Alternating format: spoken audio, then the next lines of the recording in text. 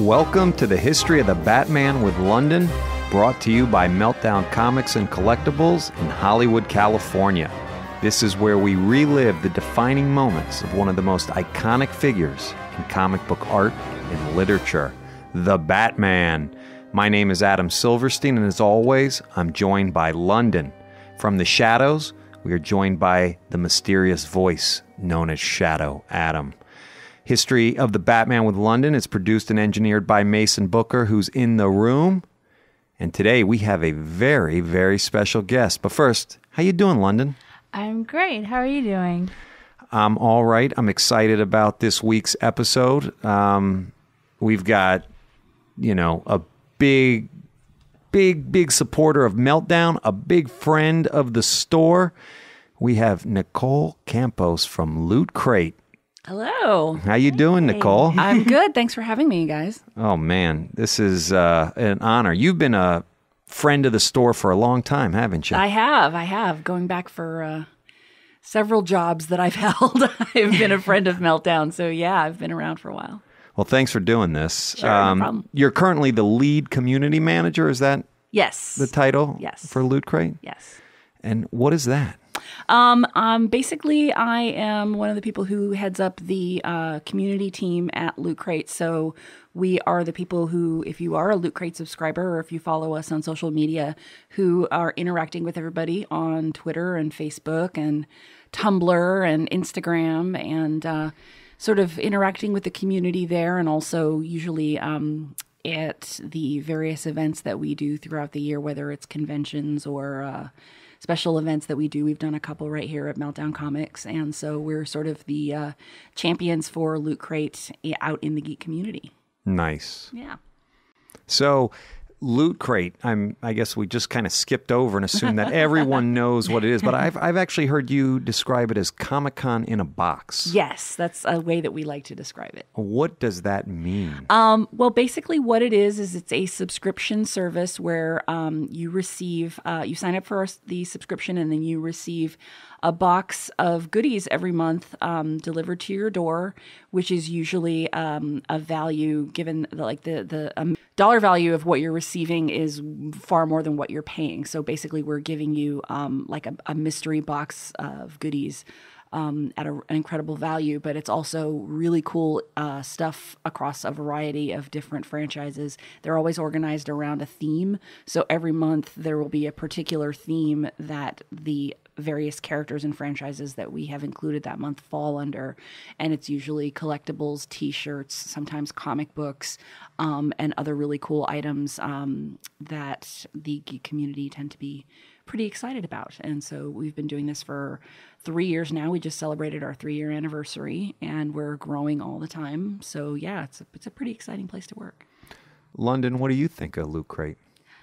I think Loot Crate, the idea of it is very cool because I have followers on social media who are Loot Crate subscribers and they are always so excited and curious to find out what they're going to get next month. And I like the fact that it's kind of a mystery that the details aren't revealed and it makes it more exciting. And I think for some people, they may want to know what they're getting, but you know that it's going to be something great every time. And it touches on so many different aspects of like the geek and pop culture community that it's valuable, I think, for anyone who's interested in Batman or anything within the pop culture community. I think they'd really like it. So, yeah, Loot Crate is doing something very cool for a lot of people.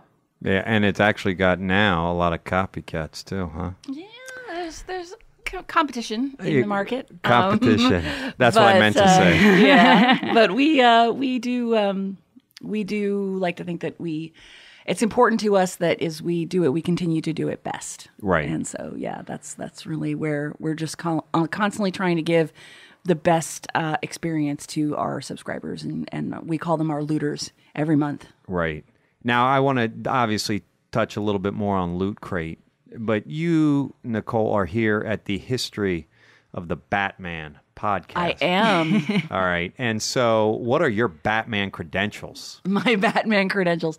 Well, it's kind of funny. I mean, I I'm a fan of pretty much all superhero stories. Like that's that's one of my big fandoms. Is I really am into superhero comics. I always have been. Um, Batman's never been like my the top of my list, but I do have I have read certain stories that I've enjoyed quite a bit. And I mean, going back to childhood, like I I grew up in the generation where um, just in sort of popular culture that you were exposed to, not necessarily in comics form it was like DC was everywhere. Marvel wasn't really around when I was a kid. And through the years, I've grown like I have to say the majority of my favorite characters in as far as the big 2 go are Marvel characters, but that's cuz I discovered them later right. by reading comics when I was in high school.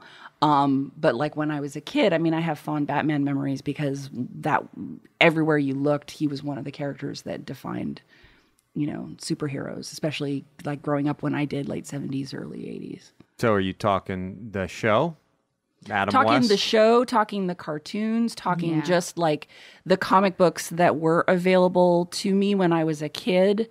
Um, that that seemed to be sort of more more readily available were for the lar- for large part were DC comics. Yeah. Yeah. Yeah, I mean, we talk on this show a lot about the influence of the 66 show, mm-hmm. right? Yes. And uh, I mean, that's it's huge. It's yeah. a huge cultural. I don't. I, I don't know what stampede. I mean, it's like in everyone's mind the corny language. Golly gee, Batman, and it just becomes. It became such a big thing. Right. Now, Loot Crate there's been some good Batman stuff in in Loot Crate, right? There has, there has actually.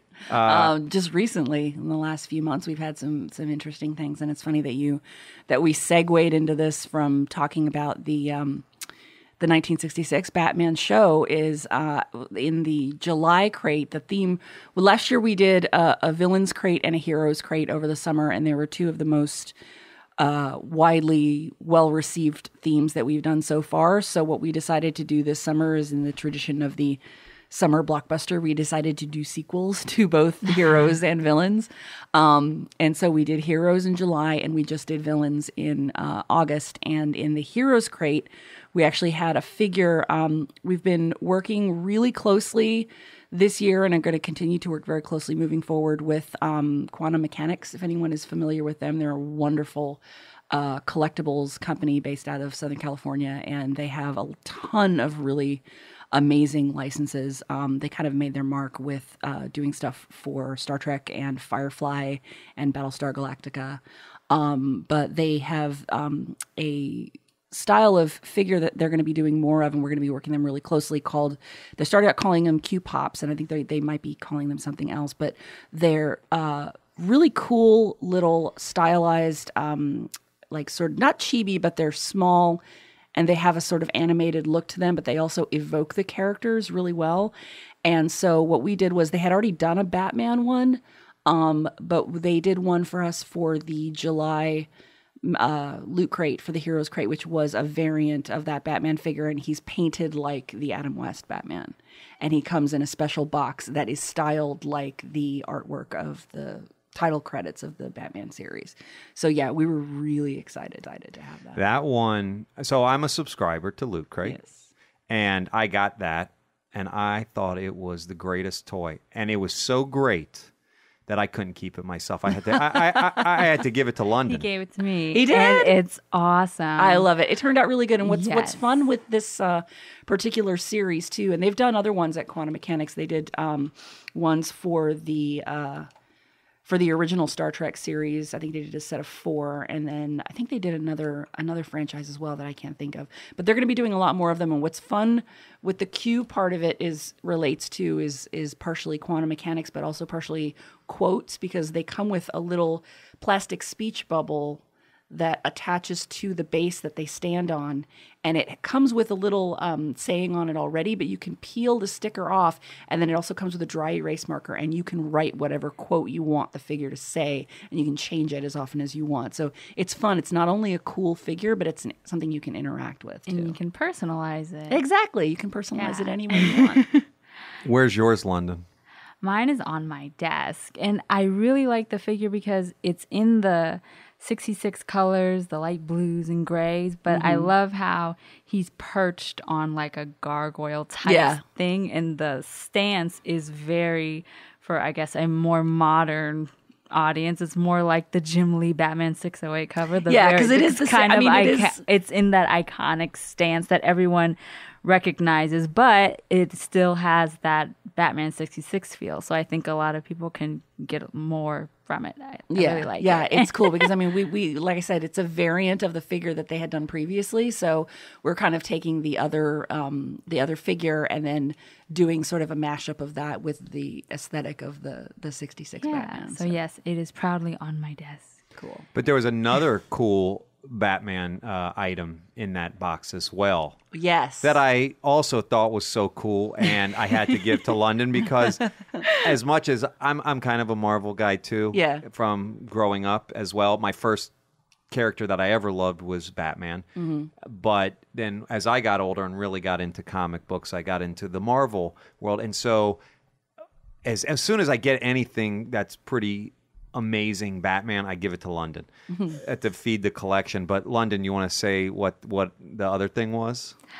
That was the the keychain batarang, right? Yes. yes. It's a key, it's a keychain that is styled to look like a batarang. I mean, it, and it really does. When you hold it, it's very. got it has weight. heft to it. Yeah, Yes. it really does. Um, but what it actually is is it's a multi-tool. So it's got a, a little cutout in the middle, which is a, a bottle opener, and then on either side, if you look very closely at the tips of the wings on either side, there's a flathead screwdriver and a Phillips head screwdriver. So it's it's really it's the kind of thing that that we actually um, we've noticed we've done a few things similar to this in the past months and we've gotten a lot of really positive feedback from people when we put something in the crate which has uh, certain elements to it one of which is that it feels very authentic like we know that that's a multi-tool but it feels like a batarang and it feels like a like a something that came right out of Batman's world, like something that he would use. Yeah. And so when it has that sort of authenticity of character to it, people really respond to that. But also just things that are useful. Things that, you know, are not just something that like, you know, obviously figures are awesome and that, you know, you're going to put them on your shelf and you love to look at them every day or if it's on your desk at work or whatever, but like things that people can interact with and actually use on a day-to-day basis. yeah. People love stuff like that. And so we've we've definitely started looking at options of doing more stuff like that in the future and we've had few items that's one of them we also had um a marvel ice cube tray that people flipped out over i mean it's meant to make ice cubes but we saw people making everything from candy Oh, yeah. to little miniature soaps I kept that one. somebody had a recipe somebody had a recipe for um uh bath crayons like those Oh wow! little soaps that but like I- Like bath fizzies or well, no, they're they're for kids. They're like um, they're technically it's soap, but like I, I f- I forget exactly what it else is you put in it. But basically, it makes little things where they can the kids can write on the walls when they're in the bathtub, and then mom just washes it oh off. wow. Yeah, it's crazy. like people made so many cool things with it. It was amazing. so that and that bat batarang. I mean, Mm-hmm. I don't even think you could take that on a plane. I think that You might- might not be able to. Yeah, I don't I know. mean, I, it- it's funny. I don't know that we've had. I don't know that we've had anybody mention that. I do know that we had some people that were like, I had to figure out how to hold it to open a bottle because they were holding it the other way around, and like the ears on the bat symbol were like digging into their palm. They're like, this can't be right. so they turned it around, and then they finally figured it out. Yeah. Well, that that was that's definitely a cool thing. And then you just, as you said, had the villains pack. So, Yes. So the villains, obviously, you have the heroes, so it's all hero themed. You got your Batman's and your other. Who else was in there? Superman was uh was Spider Man. Uh, in the heroes crate, we had. um Oh gosh, what that was that that might have been the Avengers uh, ice tray.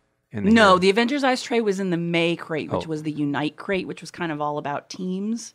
okay. Um, so yeah, gosh, what else did we have in the Heroes crate? I'm completely drawing a blank now. Sorry, we, we got the villains though, because it's the opposite. um, Yes, yes. So it's so funny because I've been doing like my mind has been on villains for the last month, and so yeah, it's funny.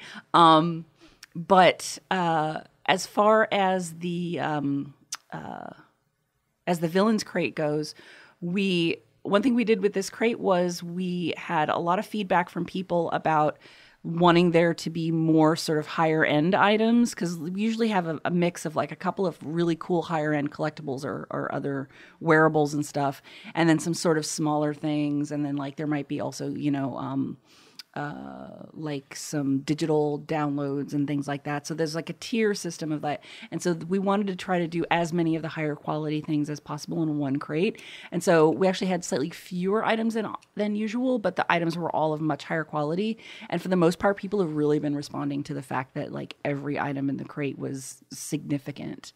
Um, and what we did um, for the villains crate was we actually had uh, this also was through quantum mechanix. They have these really cool block wooden block figures. Oh yeah, that are like kind of they're very stylized and almost like modern looking. Um, and so they did a Joker one with us that had never been done before. They've they've done Batman ones and they've done Superman ones under their DC license, but they'd never done a Joker one before. And he's so cool. Like you can actually take his head and his hands out and like move them around. And if you look really closely at the mouth, at the mouth because his mouth is kind of a squiggle, so it looks like his mouth is all kind of gnarled up. But if you look very closely at his mouth, it says "ha ha." Yeah, and that, there was actually another mouth. Uh, or yeah, another... if you flip yeah. the head around, the other mouth says something. I, I can't remember what it is. I yeah. gave that one to Londyn. Yes, of course you did. I, I am the proud owner of that as well, and yeah, it's very stylized. This is very cool. So, Londyn, did you open that one, or is that staying in the package? No, I have not opened that one. Ah. Uh, yeah, that one. Pop Batman is on my desk, but that one I don't think I'm gonna open. It's pretty cool. Yeah. the packaging is pretty cool too. And of course, now yes. that I I stopped for a moment about like thinking too hard about it, I remember everything that was in the Heroes crate. We also had um, a Wonder Woman DC Bombshells poster. Yes, which was amazing. Yes, yes. We were really happy to include fridge. that because it was right as the comics that comic series was about to come out, and I love the artwork for that. It's yes. just amazing. Um, and then we also had uh, a really cool book that we did through Random House which was the first hardcover book we'd ever included. It's called the League of uh, the League of Regrettable Superheroes, and it's basically a history book of a bunch of very odd obscure superheroes from like the golden era of comics and it kind of talks about them and so it's wonderful because it's the kind of thing where a lot we saw a lot of photos of parents with their kids, like sitting. He's like, oh my god, he's so excited. He's got a book. He's going to sit down and read all about all these obscure superheroes that nobody remembers. That was a very cool book. Yeah, it's it's really cool. It's very again, it's something that's it's got a lot of heft to it, but it's also just informationally. There's a ton of reading in there. That was the first time. It was that the first time you guys had done a book like that with that much. The first time we'd done a book of that style. We've done books before. We had um, Ready Player One. The novel was in the February crate.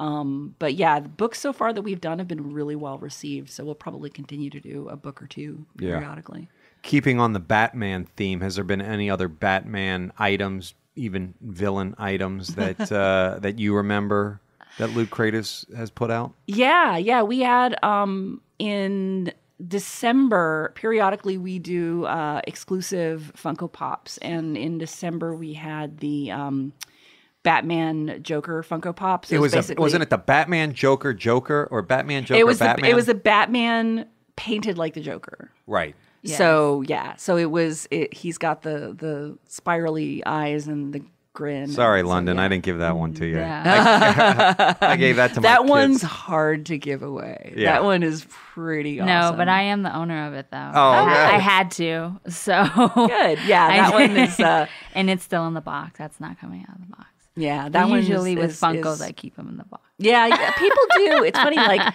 like so many people are very that are heavy collectors of Funkos, like keep them in the box and then have like their giant display yeah. of boxes in their we house. have a wall of Funkos. I go through periods where I'm like, and I'm not by no means a huge collector. When it comes to Funkos, I usually just buy the characters that I love the most, regardless of what the the franchises and right. rarely do I feel like I have to have all of them. um, but I go through periods of like, oh, should I keep it in the box? But then I like having all of mine out on my desk at work. So I understand. Yeah. I I have just I have two that I always keep with me in my in my Batman backpack. I have the the Dark Knight Rises Bane figure. Oh right. And I have that Adam 66 Batman. Oh nice. And so I take them with me wherever I go. And if I'm somewhere, I'll probably take a picture of them somewhere, and they have little adventures, and I Yeah, put them on the. That's what and I put them on friends that have done that with Instagram. their figures before too. Yeah. But those are the only two. All the other probably hundred that we have are just in boxes. Yeah. including the the the loot crate exclusive. That's Cool. because I loved it. I saw. it, I'm like, I have to have it. So I it's had to have awesome. that. Crate. it's pretty awesome. What What do you guys think is the appeal of the Funko figures? I've, I've honestly I've had this conversation with people. I feel like it's the beanie babies of the geek community, like because there's so many of them and they're very cute. Yes. and they have a sort of like you know they do certain number ones of them and they're all numbered and it's kind of like this it, it it's almost like you know there's so many franchises that they do now it's like people that are into collecting find it something that's easy to collect and easy to sort of keep up with and like you know you can have this awesome impressive collection Right. And the thing is with a lot of collectibles, sometimes it can be pricey. But Yeah. you can get a Funko for like 10 bucks. I think price has a lot to do with it. And of course the appeal aesthetically. They're cute and and you can there's a lot them, yeah but- and i mean there's a lot of really cool and i i feel like there's a lot of emerging uh emerging collectors too that are doing cool stuff now that are like and part of the reason why you know we're working with quantum mechanix is they're great you know they're great friends of ours but like we're seeing what they're doing with the q pops and we're like this is something that could super duper take off just a matter of like how many franchises are they working with and it's like you know what's going to be the next big collectible because I feel like collectibles are really kind of moving now into that arena where they are a lot more affordable. It's not just, and this is nothing to say, you know, against like the super high end ones. I mean, I know people that love their $200 sideshow figures and they're amazing and gorgeous and, you know, they display them and it's fantastic. But like, not everybody can save up and, you know, collect yeah. that much for that kind of, of a Right. figure. Um, but yeah, I, I do sort of see a trend moving more towards other really highly detailed, very cool looking collectibles. Titan merchandise also are doing this as well with the blind box figures that they do, which if you look at them, you know, they have that sort of look where they're blocky and they all have like the say the bodies that are shaped the same way. But when you actually look at those figures, they're highly detailed and the the face molds that they do are pretty amazing. Yeah. Or uh, what are you seeing, Londyn, in all these? Are you are you, are you seeing that too? Where all these different, you know, cute. I mean, because a lot of them are cutesy. I mean, they're kind of cutesy figures. It's not mm. exactly the Right. sideshows or the Bowen statues or the Marvel Legends. We're talking cutesy figures, and, And which can be disconcerting sometimes when you see ones for like Hannibal. yeah, right. you know, Yeah. or like the meanest characters on Game of Thrones or something like right. that. Yeah, That's why when I saw the Bane one for the first time, Bane, and he's so threatening, especially within that context. It's just, it's it's an appeal, and a lot of people I've known like they they would rather have the sideshows and the hot toys and all those figures. But I think it's just something easy to easier to acquire because now Funko is everywhere. You can get them almost at any store. It feels like, but yeah, it's kind of a way to ha- start collecting, especially if you like Star Trek, for instance. Like Shadow Adam, he loves Star Trek, so he would he can get that whole series easier than maybe getting just one figure of a sideshow. I think it's easier for the consumer to get and just the appeal of it. I yeah, it's kind of an era of they kind of like the cute pop type of look and you can even see that in some comic books. I think one of the artists like Skottie Young, he has he his one of his styles is doing kind of like the Marvel babies. And it's kind of it has a fun appeal. And it's not just for kids, it's for and and now the, especially even doing the show, it's for adults who love the comics and everything and can and now Funko is going major with having all pop culture. They just released a Friends series off of the TV show and what? You Yeah. can get a Chandler Funko? Yes, and my Funko. and my mom and I are obsessed with Friends, and so she doesn't even collect Funkos because she's like, I need all six of those Friends. It's just it appeals to everyone now and it can kind of start people collecting and i think that's what funko's aiming that it's for it can be for everybody and you can either collect just the heroes which is what i do or you can collect all of them if you just feel the need to have all but it's just growing and yeah, that would be nuts to see the all Funko collection.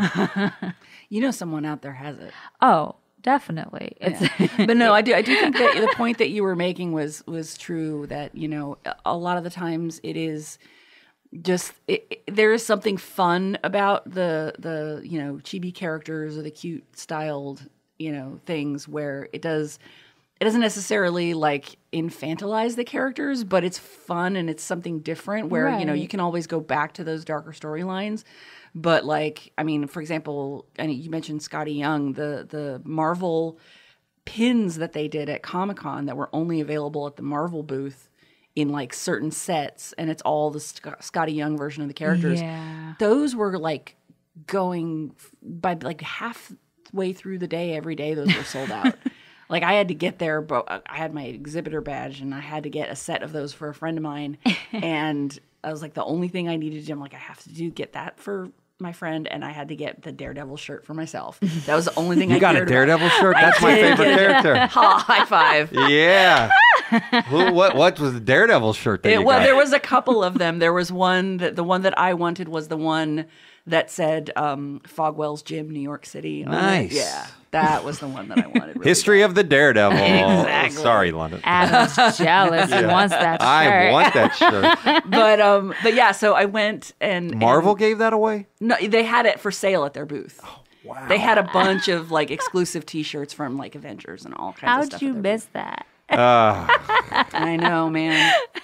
But um, but yeah, those Skottie Young pins, like halfway through the day, they were selling just out flying. of like all the sets, and like especially the like the ones that were blind box, people were going crazy. My friend had me buy like three sets just because she's like, I have to get Cap- Captain Marvel, and I was I felt so bad because I didn't have Captain Marvel in my set, and she's like, oh god, and she's like calling various people like, did you get Captain Marvel? Did you get it? And finally, she did find one, so yay! But yeah. Th- that Mission accomplished. Exactly. But that's how it gets sometimes. You're like, well, you got to get the ones that you want, man. Yeah. right Well, and and that is sort of what Loot Crate is trying to recreate. Yeah, it's true. I mean, honestly, we have, for the most part, our, our assortments that we do every month, everybody gets the same thing. Um, occasionally, we do variants within the box, and then we do see, um, you know, uh, uh, people who have our mobile app who communicate with each other on the fan wall on our mobile app. They've sort of established a little community there, and then also like they talk to each other on our Reddit page. We have a subreddit, and so you'll see a lot of collectors will touch base with one another along those lines in that context and they will trade with each other for the stuff that they want um so like for example and i'm sure this is going to start happening but like we're still in the pro we're at the very end stage of where all of the uh, villains crates have been shipping um and so we did um mugs for the first time We've Oh, never yeah. done mugs before Cool. and in the Got my Carnage mug. did you get carnage okay got- the other mug was venom Okay. and so we did a 50 50 split. Half the people got Venom and half the people got Carnage. And so I know already we've ha- had some people that have been like, I really wanted the Venom one. Does anybody want to trade? And so they find each other and they can trade with one another. And that's one of the things that we're really kind of trying to um engender among the your community growing is, like- community. yeah Right. exactly i mean and it's it's it's really strong right now as it is but again yeah it's constantly growing and i mean we've had that a few times in november we did um a miniature mega man helmet for the battle crate in november and that came in four colors. And so people were constantly trading back and forth like i got the green one i want the red one oh i've got the blue one i want the you know so yeah. It's it's fun to see them kind of um make new friends as, Yeah. a, as a venture of being a collector that way too.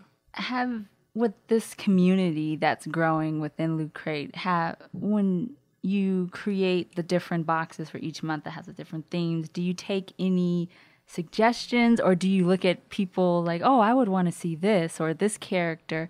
How is the process of actually deciding which characters out of all of the villains, let's say, or all the heroes that are out there, which ones to include in the box. Isn't is that a kind of daunting process? It, I mean, yeah, you know, it, it it it can be done. We have a really fantastic group of people on the product team Okay. um, who are merchandisers and uh, procurement, and they know you know, some of them really know their geek stuff, and then also some of them really know merchandising and licensing and sourcing and vendors, and then some of them know both. And so, you know, between all of them, they do an amazing job every month of like keeping up with trends and seeing what's out there. So some of it can be things that we know are coming up and that people are going to be interested in. I mean, obviously, we included Avengers in the make rate because we knew the movie was coming out and people were going to be talking about Avengers. So we thought, well, if we can get a cool Avengers item, let's put something in. And we thought the ice cube tray was cool. It was something that people wouldn't be expecting. Um, then, so some of it is knowing what's coming up and what people is going to be on people's minds that month. There's also like people have given us suggestions all the time. And we, we also do have a survey that comes out every month Oh, okay. for our hmm. subscribers. They get an email survey where they can give us feedback on that month's crate and also any other feedback they want to give us. So sometimes they do a freely offer ideas of like, I'd like to see this more of this character. I'd like to see more of these kinds of themes. And you know, we're we're we're always we're trying not to repeat ourselves too much. Right. Which as we grow and and you Keep know, it we're, fresh and it's original. Hard, it's hard to not repeat yourself. I mean, part of the reason why we did Heroes and Villains again was because they were so popular and we were aware of the fact that we were doing a theme we had done already, but we tried to include as many characters that hadn't been included the last time as possible. Um, so yeah, there's that aspect of it too. And and so a lot of thought goes into it, a lot of just knowing which characters are popular, not only from the feedback we get on the survey, but the way that people interact with us on social media. And like, you know, we're putting out content all the time that is just fun stuff that we found online or stuff that is news that people are talking about, whether it's, you know, movie news or gaming news or thing, comic book news, things like that. Um, and when we see people really react to a specific franchise, especially if it's one we haven't included before, and then that kind of goes in the bank, and you're like, okay, well, we need to think about including that franchise Okay. down the line. Something that I have noticed while following you guys on Twitter is that your customer service is amazing.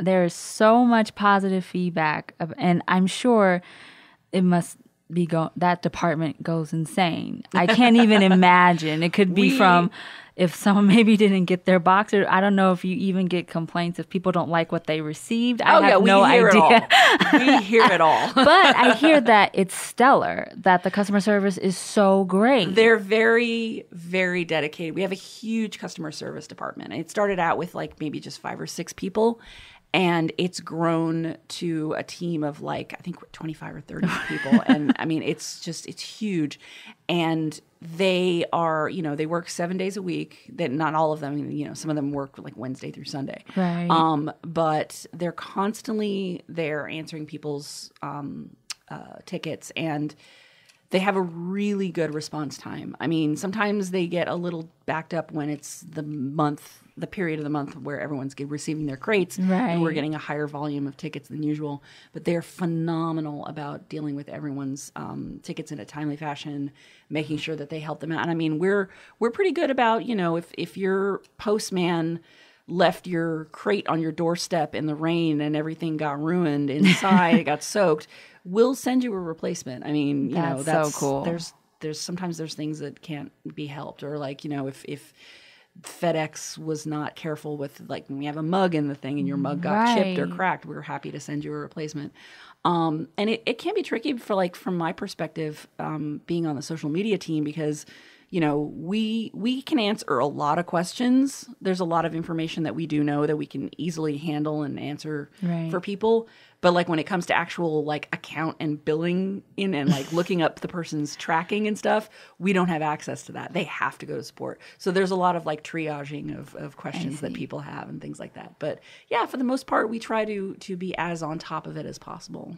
Yeah, because customer service for any company is so important. But I've just heard five stars all around. So I wanted to commend you guys you. for that because that's what I always I will be see. sure to let the support team. Yeah. But you, Nicole, you just also touched on social media. Yes. I mean, that's a huge part of what you guys are doing right now. Uh, Londyn has also done a ton of social media on the History of the Batman Yeah. Instagram page. And as, as just an individual, what she's done has been pretty amazing. I mean, Yeah. she's about to hit 200,000 followers. I That's great. Which is That's so insane. Yeah. I mean, and that's all just one person. What make what, what goes into your team, the social media team, or Well- is it a, a defined social media team? Oh no, it, it definitely is a defined team. I mean, it started out where you know when they were the first year and a half, particularly of of Loot Crate's existence.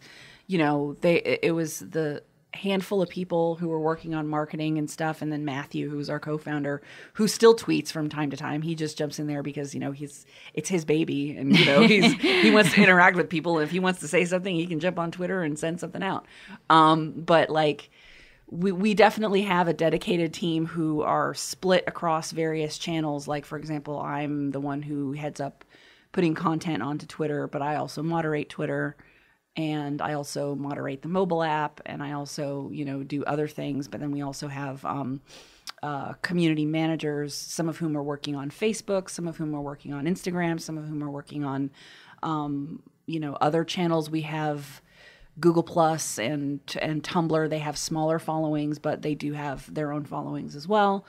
And so, you know, we throughout the day are all not only putting out content and like getting feedback and and really interacting with people about the theme that month's theme or about what is cool and that's happening in the community or like any events that we're doing. For example, we're going to be promoting the hell out of um, PAX because we're recording this the day before PAX starts on the weekend, so we're going to be doing that as well um, but also just like that, like I said, moderating comments from people and and, Right. and answering questions and making sure that you know sometimes there are questions we can't answer, like because of the fact that we are a mystery crate, we mm-hmm. are very protective of spoilers and we don't want to let like at the beginning of every month or I say the beginning of the month, but it's actually a few days before the beginning of the month is when we announce the the new theme for the upcoming month and you know we'll get people that will press us for information about when are you guys going to do more collectibles? When are you going to do more funko pops? When are you going to do more t-shirts and that kind of thing? And you know we can't tell you until we do the announcement for that month. We are working on it. Right. you know we do we have crates planned out through the end of this year and into 2016 we're already starting. Nice. um, but yeah, we we're very protective of spoilers, and we try to so we try to answer, we try to interact as much as possible and give them as much information always as we can, while still at the same time, you know, preserving that mystery. Mm. It's the key, right? You want, Yes. I mean, that's the key to preserve the mystery. Exactly, because people really love it. I mean, people look forward to getting their crates every month, and for some people, it's a family thing. Like, you know, mom and dad geeks who are sort of, you know, teaching all of this stuff to their kids, and they look forward to when the loot crate comes and they all open it together and Oh. they share it. And they, you know, sometimes the kids will they'll be like, "We had to get another one because they were fighting over Oh everything." yeah, you know what I mean? I got the I got a six and eight year old, and when the loot crate box comes in, uh, first of all, I tell them it's mine because I know it's going to be a fight, Yeah. and then they're like, "Can we open it with you? Can we open it with you?" And then I end up giving them pretty much all the stuff anyway. but it it becomes something that I then say to them. Okay, well, let's open it up together. Or if one of them comes in, they are like, "I want to open it now." No, wait for your brother. And so it becomes Yeah. a family gathering. I feel, and then sometimes it actually brings people together, and that's also part of what's fun about being on the community team. And the support team gets this too. Um, when we get feedback from people, or like we had a really wonderful um, email from this woman who had a teenage son who he's just at that age where like everything she says he's you know doesn't want to listen they fight all the time and they just like he's in that rebellious teenage phase um but then she they started getting loot crates and that was something where it was like the one thing that they do together and that they look forward to and it kind of smoothed some of that over between them and it's That's like really nice. yeah. And so we get stories like that all the time, or we get like, you know, we hear from guys who are you know stationed in Afghanistan who their family sends them loot crates and like that's wow. the big deal like when the loot crate comes I mean when they get mail period it's amazing but when the loot crate comes in it's like a big thing that brightens their day That is an awesome story. yeah, It's That pretty is cool. really cool. What about um, so you can't talk about what's coming in the future? I can't talk in detail Okay. about I can't and I can't talk past like this upcoming month Right, But right, yeah. right. So is how does Batman um, how does how does the looters respond to Batman stuff? pretty darn well. Pretty darn well. He anytime we have Batman stuff in a crate, it's always always popular. I mean, there are certain characters that are just evergreen that people are always going to love and like we do have people that are less into the superhero stuff. Um like we we tried to and also like in the heroes crate we tried to include other things like we had a legend of zelda item in there and we had a star trek item in there so we try to think about Star Trek characters. Shadow Adam. Yes, we got a Star Trek character. Um, so we try to include items that are similar to theme, but maybe something that you're not quite thinking of. But I mean, we're always probably going to continue to come back to, to Batman periodically because he is an evergreen. He's a character that people just always gravitate towards. Well, it's uh, we know that here at the History of the Batman, don't we, Londyn? Definitely. Londyn, what what would you want to see in a loot crate? I mean, you you are not. I mean, you're a huge collector. This is you are basically giving loot crate some free advice here. Uh, well, from one of the things I really enjoyed actually, and I, I don't know the process of how you get Loot Crate exclusives with certain companies, but in the December box, there was a Batman variant cover. Ah, I yes, believe that's it was a Greg Capullo for uh, Zero, and and it was amazing. Yeah. and that was even though I loved the Funko, the Batman Joker Funko. Yeah. I really liked that, and maybe it's just because I love comic books. But I would, I don't know, I would like to see things like that. I know people love variants just in general, and on Nerd Wednesdays when they go get new comics and the variants are there, they get those too. So that's why it's it's interesting because you have so many different types of items within the box. It's always something different. And you say you like to keep it kind of fresh and you want to not repeat the same things. Right. And, and even though you have the heroes and the villains, there were different types of items for the heroes and the villains. But something either with comics I really enjoy, and of course I love Funko, so that's biased. So I can't really say more Funko because I'm sure you hear that all the time. but the Funko figures I really like. But seeing a comic in there, I think would be really cool and a special one and one you can't get at the stores. Well, that's what we tend to do. I mean, anytime that we include a comic in a crate, we always try to make sure that it's a variant of some kind. I Yeah. mean, you know, we we we include as many exclusives usually every month as we can. Um, depending on who we're working with and depending on what the theme is for that month. But as far as comics go, we definitely always try to, anytime we include a comic, make sure that it's a variant cover uh, that is exclusive to us. Um, and we we've included um, issues like, for example, that issue was I believe it was number 36 and so we have done issues like that in the past where we've kind of jumped in in the middle of the run but we're trying to steer away from that now because Okay. also a part of the reason what we try to do is um, to not only get something cool for the fans of that character, but also to sort of introduce people to a new line of comics that maybe are coming, or a new storyline that is coming out. So we're trying to stick to number ones as much yeah, as I was going to say you're going to aim for doing or for example, a one shot like we did um, in May. We had the uh, Bravest Warriors one shot that we did with Boom, and that was actually a double issue one shot that was like five or six stories, but it was a sort of self contained, you know, collectible. That's issue. what I would want a So, yeah. Batman one shot. Yeah, there you go. That That's would be so think about. cool. Yeah, yeah, yeah, for sure. I mean, I'm sure we'll be doing more stuff like that too. but you guys, I mean, Loot Crate is not only providing its customers with cool stuff, which clearly it does, but it's also been really helpful to creators, right? I mean, Black Orphan is that Orphan Black. Orphan Black? Sorry, my Yes. bad, my bad. But that was a comic that was number one Yes. because of Loot Crate. Yes. well, what's funny is because Orphan Black has a massive fan base online for the TV show, like a really dedicated like they're, they're the show's numbers have not been all that great. I mean, they're on BBC America, so obviously it's not going to have the same numbers as like you know a lot of these other shows. Um, but I mean, it's basic cable. But like the fan base is really huge for that show online, and and and so we knew it would be something that would be popular and that a lot of our, our subscribers are into. But the comic that's based on the show was actually brand new to IDW, so um, it was the kind of thing where we were like, we know where this theme is coming up, and we think Orphan Black would be a good fit. And there's a lot of fans of the show at Loot Crate, so we worked with IDW to do that cover. And yeah, I mean, it's just as as a result of the number of subscribers that we have. You know, the number of issues, sheer number of issues that we buy usually means that that comic does well that month. yeah, no, it's uh, it's awesome. I mean, Yeah. it- So innovative. Yeah, and if you're a creator and you've got you want to do something new, exclusive for Loot Crate, I mean, is that possible? Can a creator do that? Um, I guess yeah. I mean, theoretically, it is possible. You know, we we we're always you know wanting to hear from creators who who want to work with us and like try to work with them as much as possible. And we have you know heard from from creators who are like, I've got this thing coming out. Is maybe there's some way we can work together. Um, it's always a matter of just finding the right timing because Yeah. a lot of the times, you know an issue is already scheduled, like they know it's coming, even if it's like five or six months down the line, we may have already set the theme for that month. And Yeah. so it's always a case of like, we don't know if it's necessarily going to be a good fit. Do we want to wait? Do we want to maybe do, um, like, a, can we do a number one later after it comes out? Is that even viable?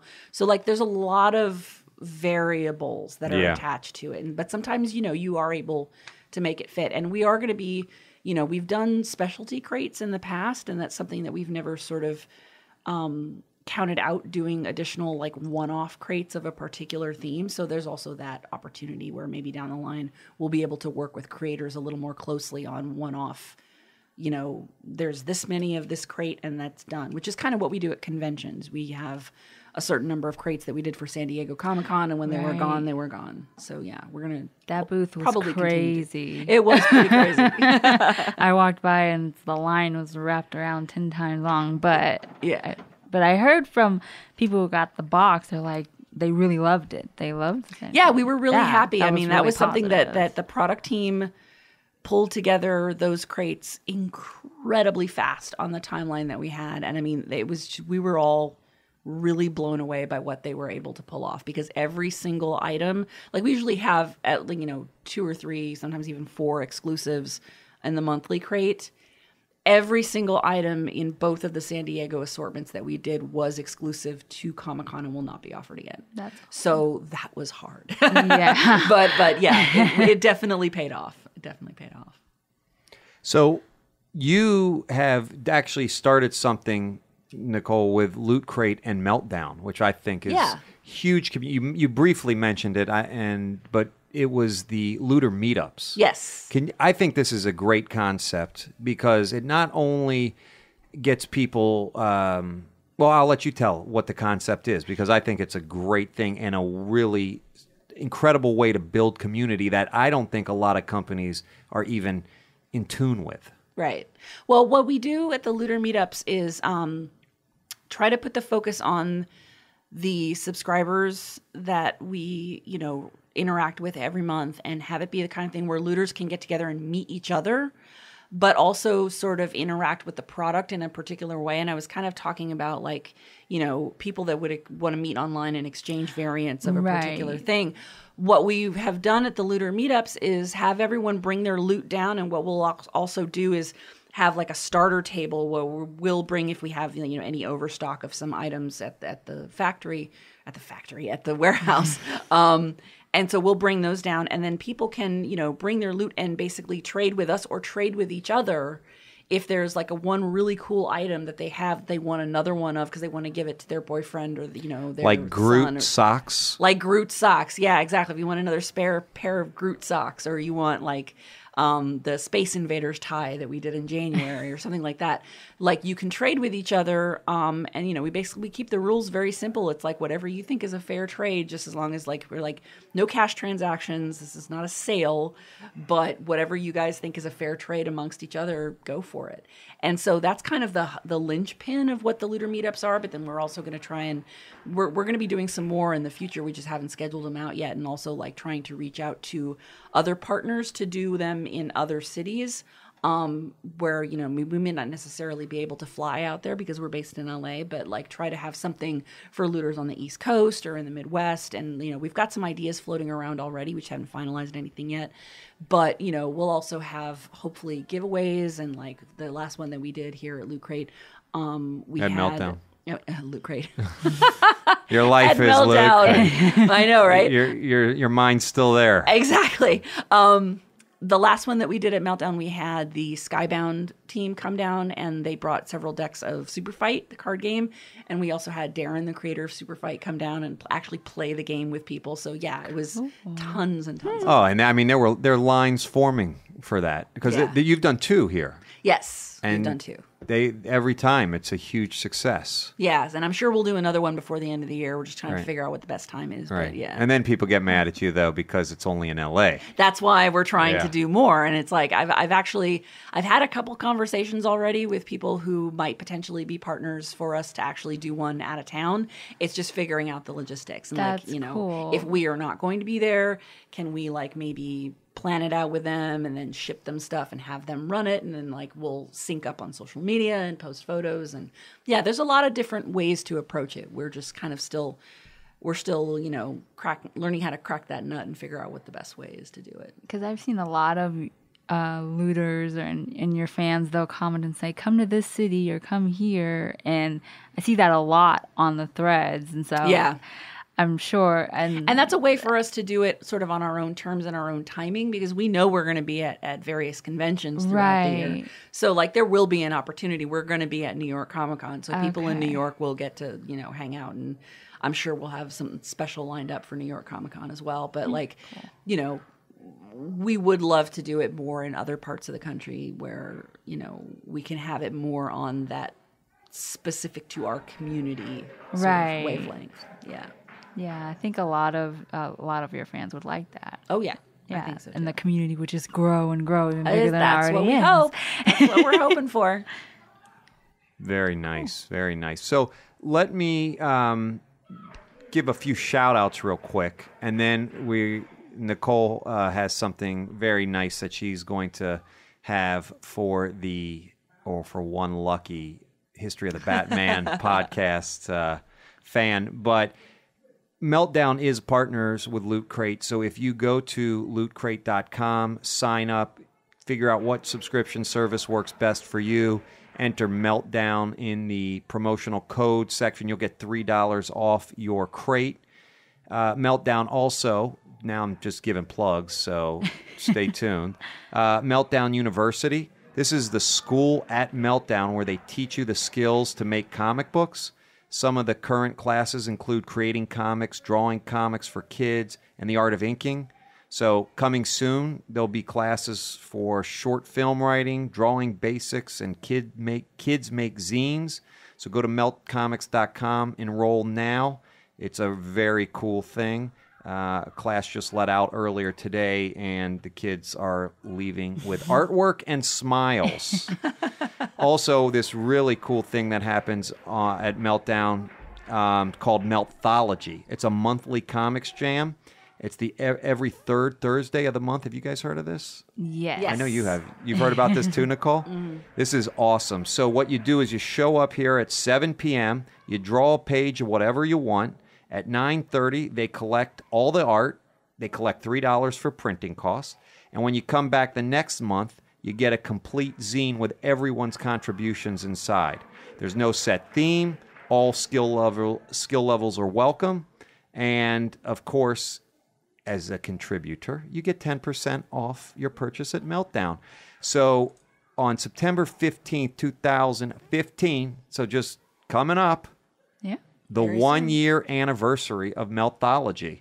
And then there'll be one again October 20th, November 17th and December 15th. So go to at Meltology, at Melt underscore Thology on Twitter, or if you could do it on Facebook. If you have any specific questions, ask for Chuck.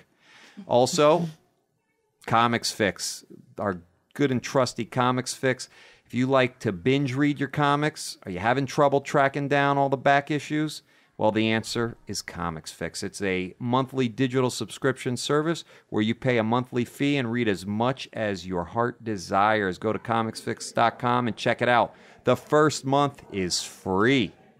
All right. I think it's time. Well, I don't know if anyone hears, but obviously things always go on at Meltdown, and things are going on, and I think they're getting excited for Nicole. What are you going to offer one lucky fan? History. Uh, well, we're going to offer one lucky fan of the podcast a three month subscription to Loot Crate. Ooh, Nice. that is awesome. All right, so all this goodness that you've heard about.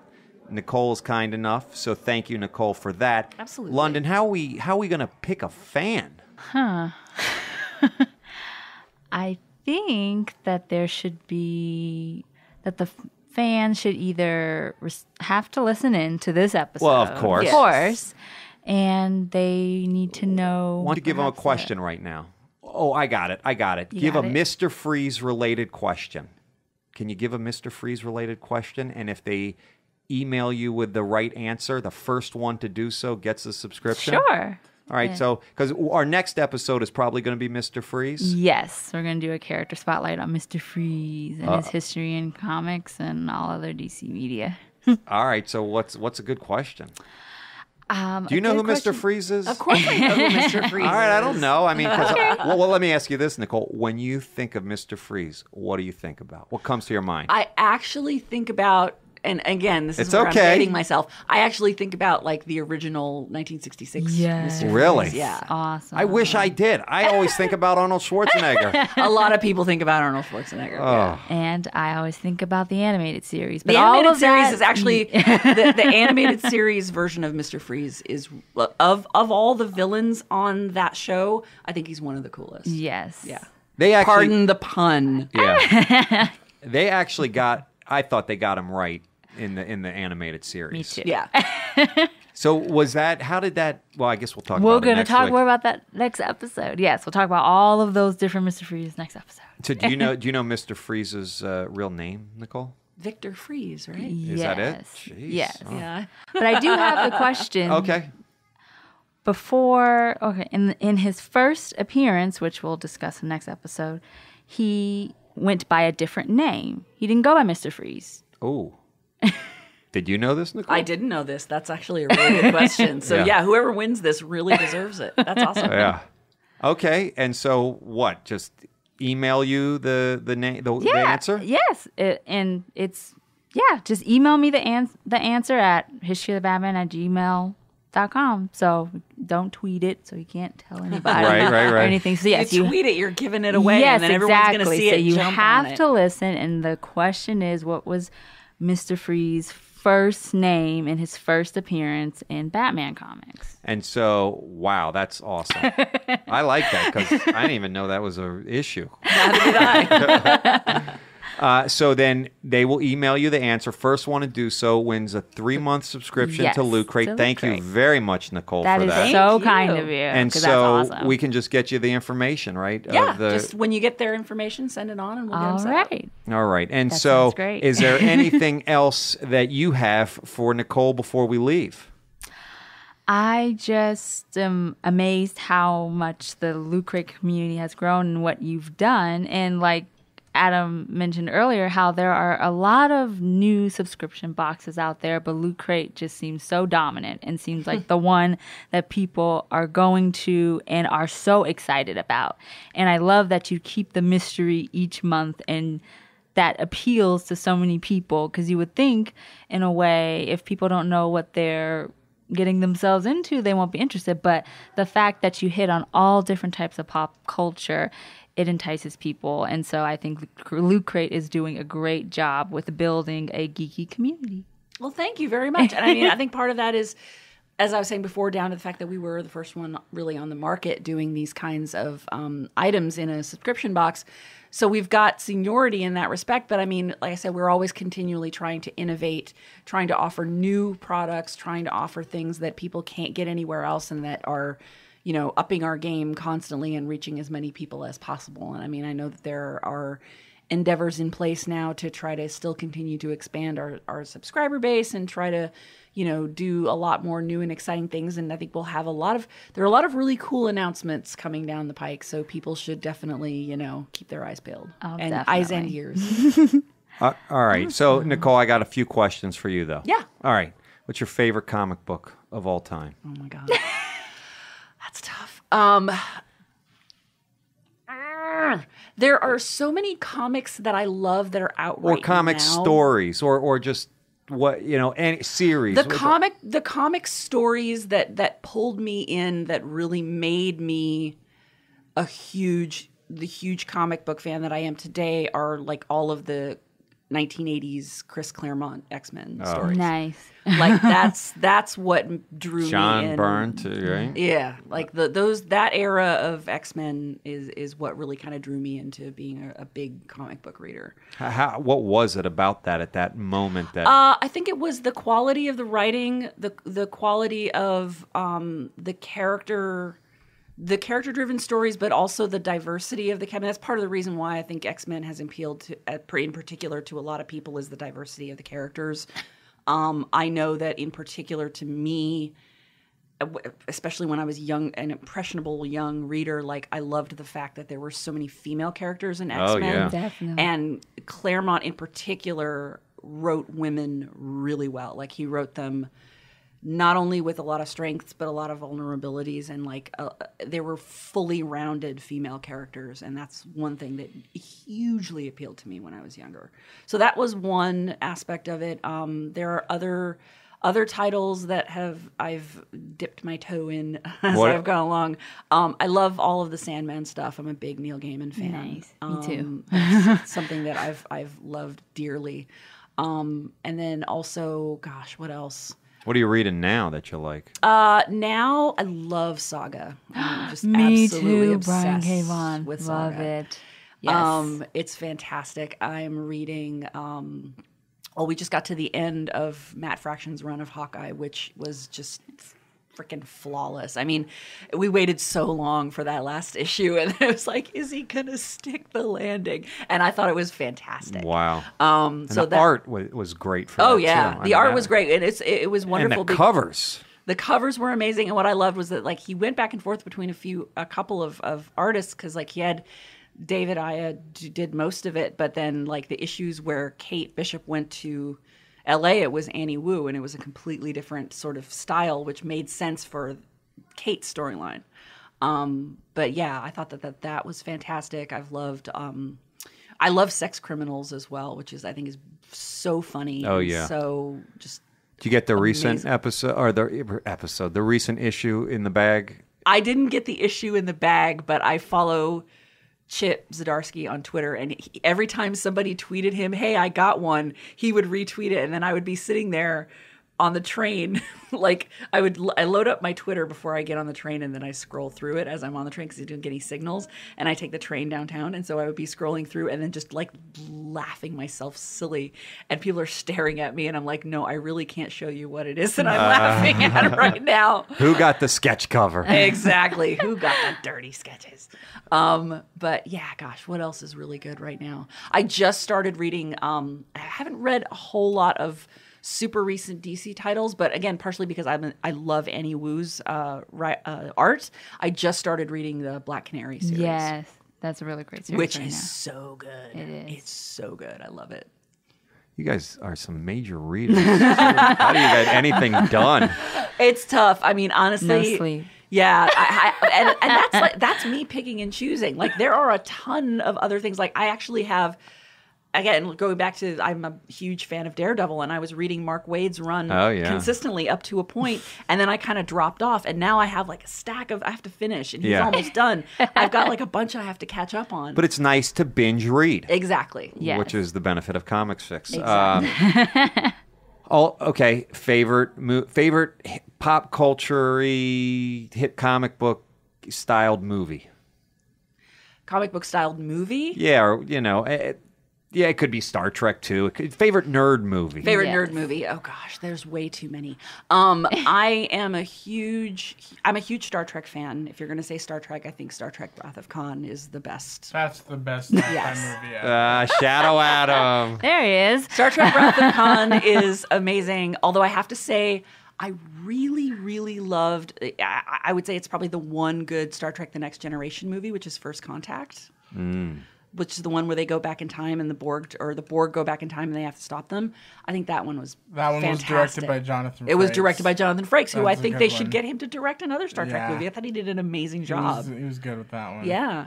Um, and then, gosh, what else? I mean, as far as comic book uh, films go, I really, really liked.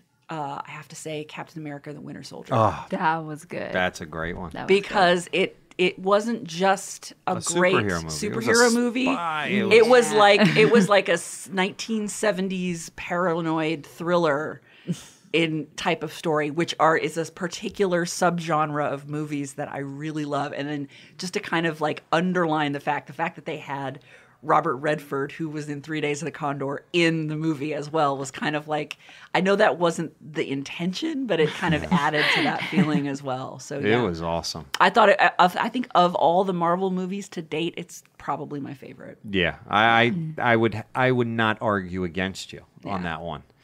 Um, okay, favorite TV series, Favorite- nerd, geek culture. My all-time favorite nerd TV series is the reimagined Battlestar Galactica. Hmm. I absolutely adore that show. I mean, I've watched it a few times since it's been on the air. I go back. How to many it all the seasons did it go? It went four seasons. Wow. on Sci-Fi Channel, and four seasons plus a four-hour miniseries that kicked it off. And I think that's part of the reason why it really. They, Ron Moore's storytelling is so like his world building is insane. He he has so many facets to like the way that government works, the way that society works, the way that culture works, and, like he thinks about all. And he of did it stuff. all on Battlestar Galactica. He did it all on Battlestar Galactica. And what's fun I about should that probably show? go watch it. You should watch it. what's fun about it is it's really he took he took all the kind of cheesiness out of the original show, and what he really ended up making was almost more like a political drama. It's there are episodes where they're like it feels like the West Wing in space. Like it, it it's it's got a very strong sort of like all this socio-political stuff about like the humans versus the Cylons and colonization and we're at war and all this kind of stuff. It's so much weightier than than the original show. But then as the show goes along, he starts to introduce other aspects of like what it means to be a Cylon. Do they have a soul? Are they, you know, I mean, it, it gets really deep. So that show I love. As far as shows that are on the air right now, um, Were you down with Daredevil? I loved Daredevil. I loved Daredevil. And I was so happy because honestly, Daredevil's a character that I and I had I talked about this in another podcast that I've I've kind of danced around periodically because there are some storylines of Daredevil that I really have not cared for at all.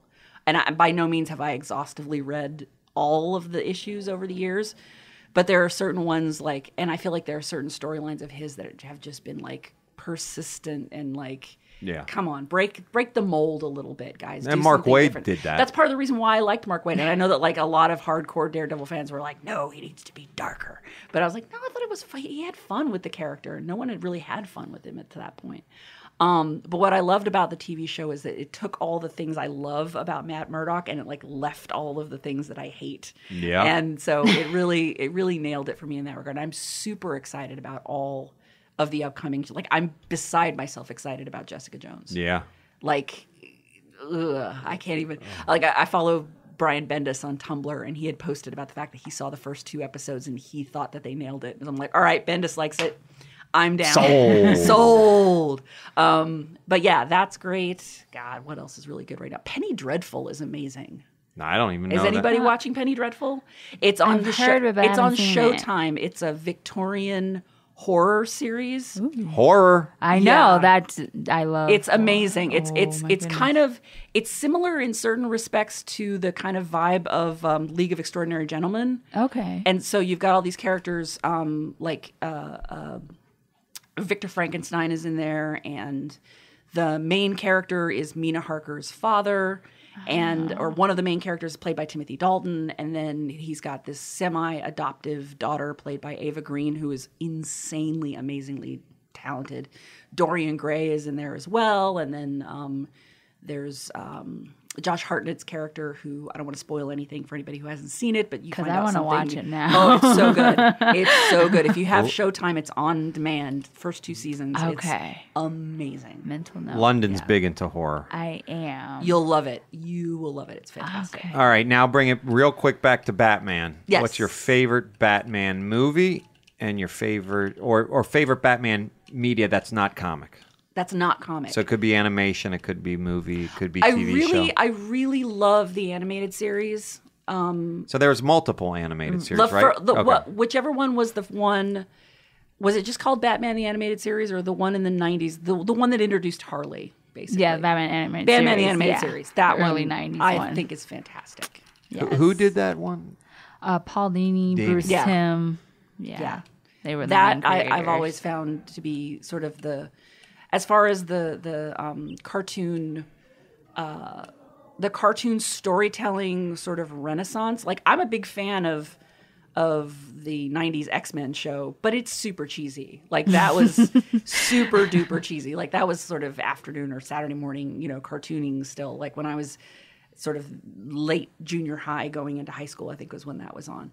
But i feel like the Dini batman was where it really kind of j- jumped into a whole other level of, of animated series Yes. storytelling and that like the dc and marvel shows from that point on kind of moved forward Matured. Yes. matured a bit yes definitely mm-hmm. All right. Well, thanks for sharing. yeah Yes, absolutely. All right. So thank you, Londyn. thank you, Shadow Adam. No problem. And thank you, Nicole. thank you thanks for having me guys It was All fun. right. So, Londyn, if people want to reach you, how do we do that? Well, especially if they want to try to get the three month and subscription. you definitely want to do that reach me, shoot me an email at historyofthebatman at gmail.com. You can always message me on Instagram.com slash historyofthebatman or any of the other social media sites, twitter.com slash histofthebatman, facebook.com slash historyofthebatman, and historyofthebatman.tumblr.com. But yes, I love all the feedback and comments. And if you have episode ideas, anything, email me at historyofthebatman at gmail.com. Nicole, you got any shouts, anything you want to do? Um. Yeah. I mean, I guess. Well, thanks for having me. You're And, uh, and I guess if we have any looters who are are currently fans of the show and listeners, uh, hello. Thanks for being awesome. We love you. Um. And I guess the thing that I would say is to look out for our September crate, which we just announced the theme for today. The theme is summon. Ooh. And so it's character. It's sort of you know focusing on franchises where there are characters that you call forth or summon in some fashion or Oh, whatever. boy. That Um, sounds we awesome. have we have Sounds kind of horror, maybe. Right? well, sort of. Um, It could be. It's kind of across the map. Um, we have Pokemon in there, which is something that Oh. you summon, and po- surprisingly, Pokemon is like one of our most requested Oh, I'm franchises. Pokemon that is we've had for a long awesome. time. I'm excited. And so we're super excited to have Pokemon in there. We also have um, Hearthstone, which is a really popular uh, digital game from Blizzard. So we're going to have some cool Hearthstone items. Um, and we have another franchise that we have frequently been asked for that's never been featured in a crate before, which, if you're a horror fan, presumably you might be somewhat interested in, and that is Supernatural. Ooh. Oh, okay. Nice. So we've got a Supernatural That'd cool. exclusive collectible variant in this crate. So we're super excited about that. Amazing. Well, thank you for joining us. Uh, listeners, thank you once again for tuning in to the History of the Batman with Londyn, presented by Meltdown Comics. I'd also like to remind you that Meltdown's got a ton of other shows that we're putting out. We've got the Disney Click, which you can check out on iTunes or on meltcomics.com. It's a podcast where they just talk Disney. I mean, who doesn't want to talk Disney? Uh, we got Meltcast 3.0. It's where the Meltdown employees talk about new comics, get into other shenanigans. These guys are nuts. So you can listen to them. And then also on YouTube, we've got the Digital Lizards of Doom show, which is uh, Meltdown's very own YouTube show. We've got Gabe and Dan expl- explore all aspects of pop culture. It's a super great show. Check it out, enjoy it, have fun, and thanks again for listening. Also, I do never want to forget Mason Booker, the engineer and producer. And as we like to say on the, or as Londyn likes to say on the Instagram page, Peace, love, and Batman. see you next week.